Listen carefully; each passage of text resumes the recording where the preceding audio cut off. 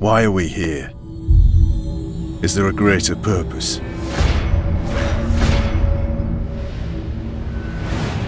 Who the hell cares?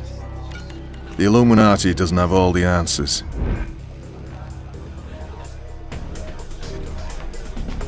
Just most of them. You see, knowledge is power.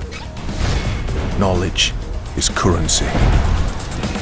Someone's got to buy, sell, and trade it. Someone's got to use it to grease the wheels of industry, the military, the government.